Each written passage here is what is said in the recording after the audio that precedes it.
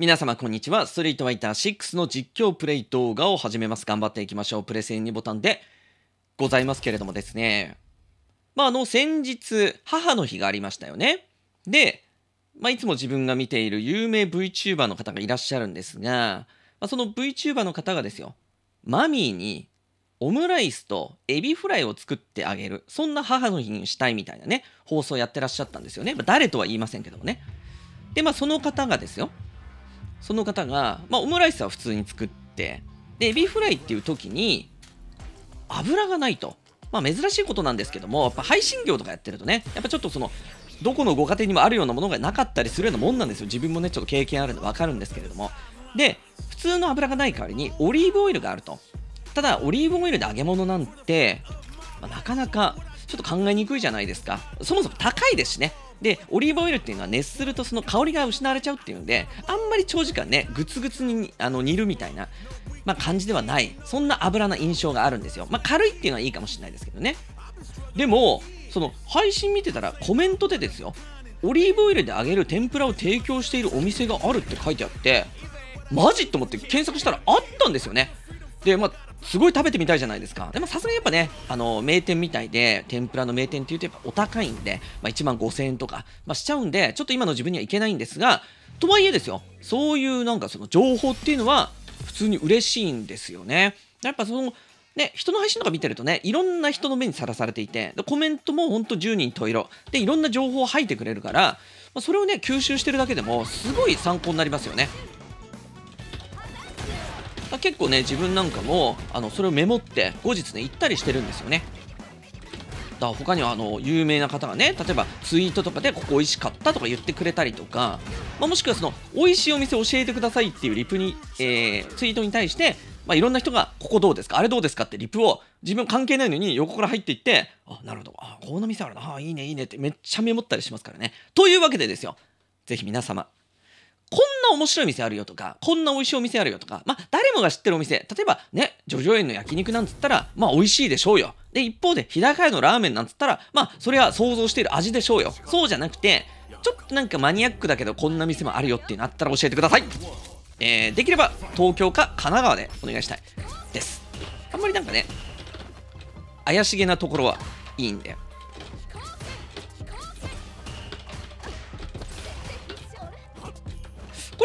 やっぱチュンリーってこうなった時ってどうするもんなのかな？やっぱなんかこうじりじりじりじりとしている中でね。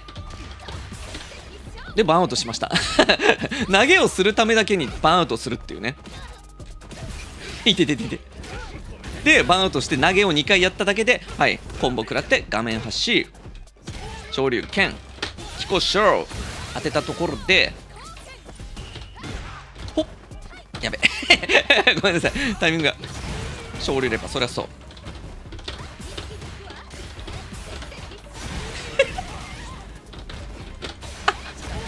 何これ。いただかないでしょ。そこ昇竜拳でしょ。ボタンがキックになってるよ。ちょっとなんだこの戦い。あ痛い。甘いの？一かきできてないな。ちょっとこれやばすぎる。放送禁止レベルの内容だわ。ちょっと待って。ダメージダメージは甚大。下がっちゃうのか。いやでもな何を重ねていけばいいか分かんないな。させる。すんごいストレス。間違えた。やばいやばいやばい。1戦目からやばい。これやばいやばいやばい。大丈夫か？相手の方そうですよね。絶対イライラしてると思いましたもん。最後多分手離してましたよね。はいはいはい。もうめんどくせえめんどくせえってなってましたよね。ちょっと待って。攻めパターン。まあ中足と前入れ中盤追突剣こういうのを入れつつ前入れ強キックとかも使っていくのかな。であとは気候剣を縦にしながらまあちょろちょろといくと。そうするとやっぱね、めんどくせえっていうふうになってきて飛んでくる。それを中継とか、まあ、できればね、転生客で落としたい。落とし頃。いてて、いてて。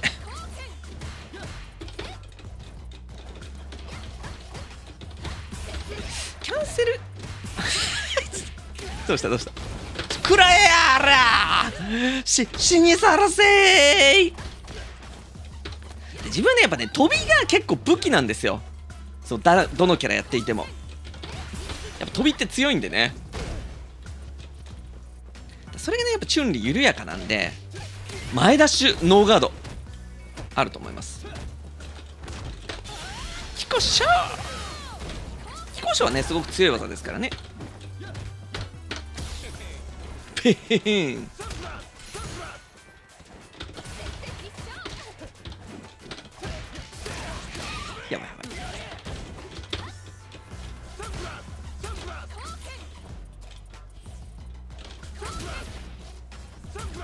オーディ打ってきそうな空気感じるんですよね。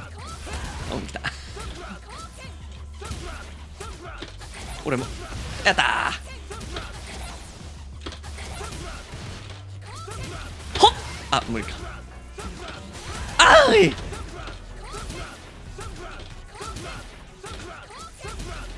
やばい。やべえ バウンドしちゃった。まさか飛んでくるとは。あやーく強すぎる。なんて読み合いの強い方なんだ。やったぞ！きた俺の時間。ほっ。おお当たった。あなんだこれ。大事なプラン中パン当たった人影にはできない。違うか。くふ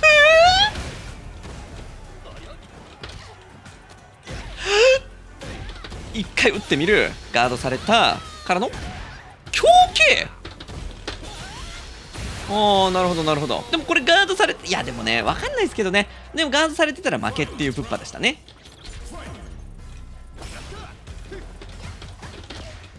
いやチュンリーきついわ。クラットゲイ。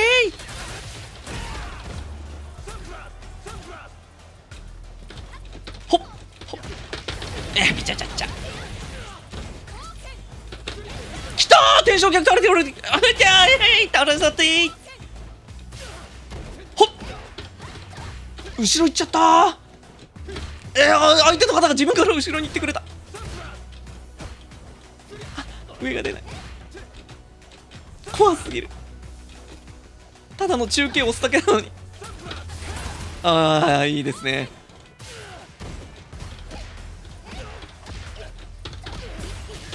あああ。はーい。はいはい。食らわない。ほっ。ほっ。はっ。ほっ。はっ。天正客で終わらせてやる。はいはいはい。ほいほいほい。あれ？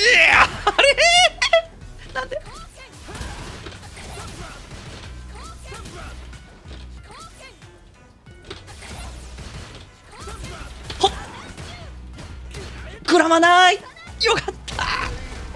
アナシュそんな好きの大きい技じゃありません。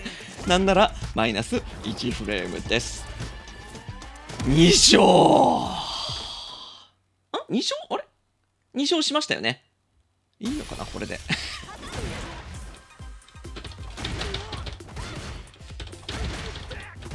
ちょっと必殺技これ当てたいですね。昇竜ガードした後にしゃがみ強パンチキャンセル中段キャンセル強スピバこれ狙っていきましょうえ味噌汁85円？えそんなバカな？ちょっと高くないですか？50円。きっと50円。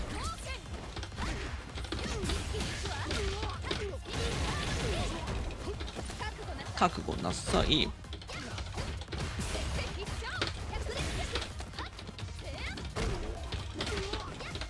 なんだろチーアパイ。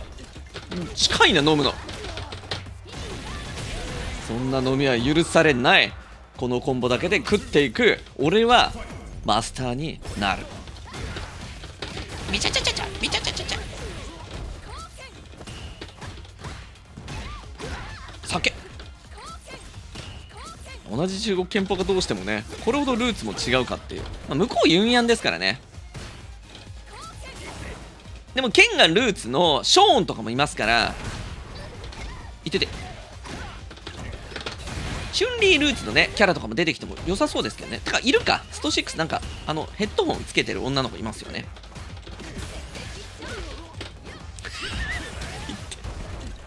つながってるし。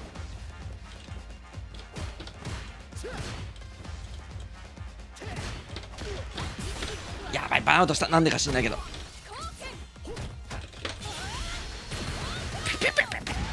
オラオラオラ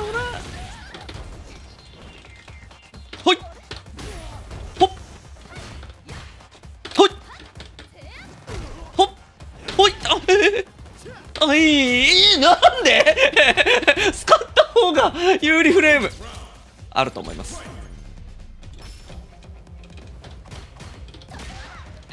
ええちょっと待って。しゃがみ強化絶対今嘘だよね。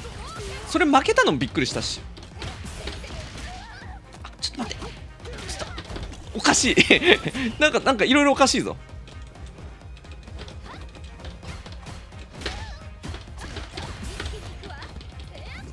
え今は？カウンターヒットじゃなかったぞ。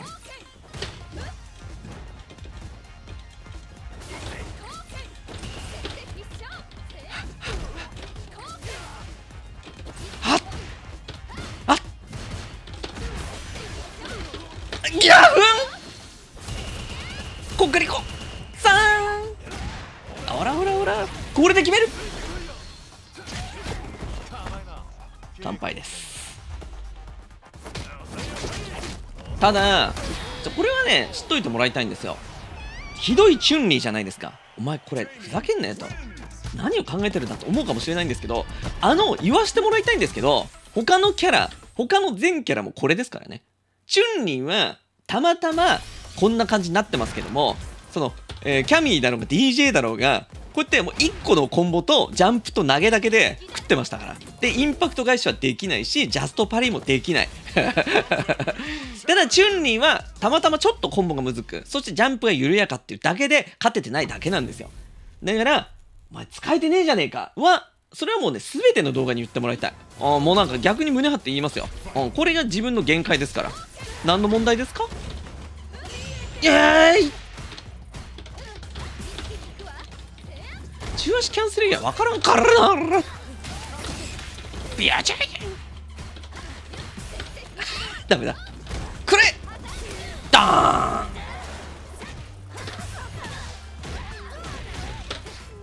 うわー！細切りは減りますよ。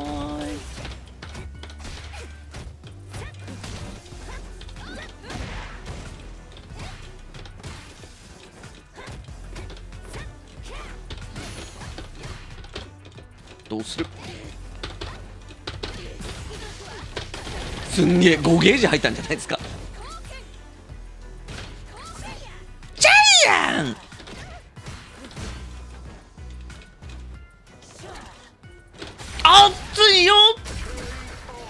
そんなこともあります。あ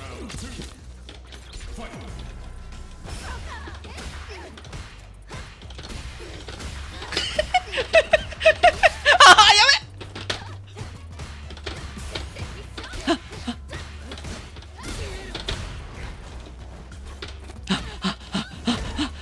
技のぶつけ合い楽しかった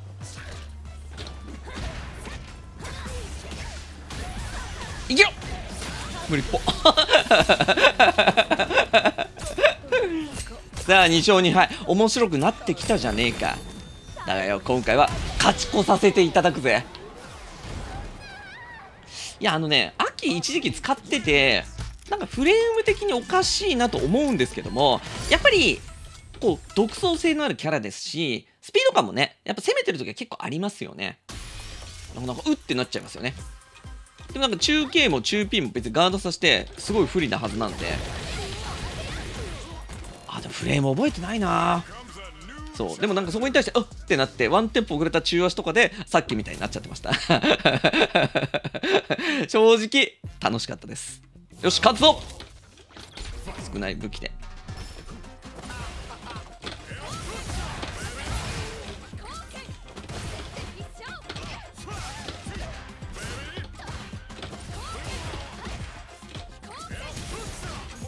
ドライブラッシュあんましないようにしなくちゃいけませんよね。言ってるそばからしましたけど。聞こう。ラライ絶対これ違うけどね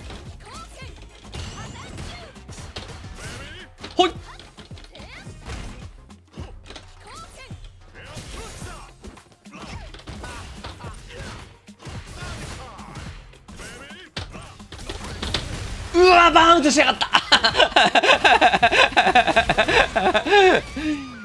ダメだ。入れ込みでしたねラッシュがね。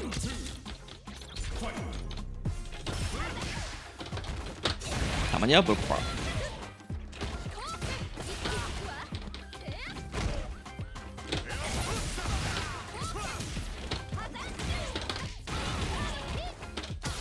あっはーん今止まってましたよね相手の方ね。近すぎたのか？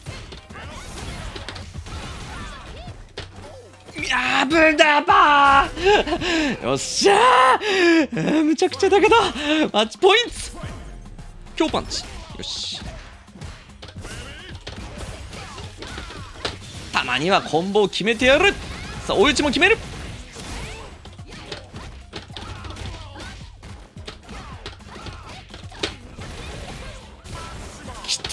そして補正切りゃほいほいほい。えクールです。ただ補正が一番入ってるんで、まあ、もちろんダメージは大きいんですけども。まあまあまあまあまあまあ。えまあまあまあ。あぶねえいや連戦はしません。はい。勝ち越しですよね。よかったですね。はい。よかったよかった。はい。えー、よかったですと、え、いう感じでね、えー、皆様どうですか？徐々に使えるようになってきてこのチュンリーの動画見応え満点。ただ強いだけじゃなくハラハラもさせてくれる、えー、そんな動画。まあ好楽のお供にいかがでしょうかというところです。まあでもねまあさっき言った通り自分は別にチュンリーだけ特別使えないわけじゃなくてチュンリーが難しいのがいけないわけですから。古来よりのチュンリーの難しさそこに皆様、えー、苦情をお願いいたしますまあ自分はねあのー正直チュンリーは簡単な方がいいと思ってるんですよね。チュンリーとやっぱ竜っていうのはもう今主人公の座から離れていってるとしてもですよ。でもやっぱりストリートファイターシリーズのアイコン的キャラなのでやっぱりその竜とかチュンリーとかが画面の中で動いているっていうのを仮に第三者が見た時にあああれってなるはずなんですよね。それがですよ JP とキンバリが戦ってるところを通りすがりの人が見てもストリートファイターだって気づかないかもしれないじゃないですか。だからね、なんかそういう、やっぱそのアイコン的なものが画面で動いてるっていうところとかが、うん、まあなんかね、結構、個人的にはね、あの大事な要素なんじゃないかなとは思ってしまいましたね。まあでも、逆にですよ、あえて意図的に、竜とかチュンリーをちょっとこう使いづらいキャラにすることによって、ちゃんとね、画面でいつも動いてるのがルークっていう風な状況にしたかったのかなと。いうところもね、まあ見て取れなくはないんですけども、まあでもね、ちょっとチュンリー、むずいっす、これ。まあ、ただ、そのコンボ職人とか、その難しいキャラがとにかく好きって方もいらっしゃるんですよ。あのスト4でいうところのゲンみたいなね、キャラが好きな方とかもいらっしゃるんで、まあ、だからそういう意味で言うと、そういう人たち用のキャラを用意しなくちゃいけない。それがやっぱりチュンリーかなっていう、まあ、ところでもあったのかなとも思うわけなんですけどもね。まあでもやっぱ簡単になってほしかったというのは個人的な願いです。それは手が不器用だからです。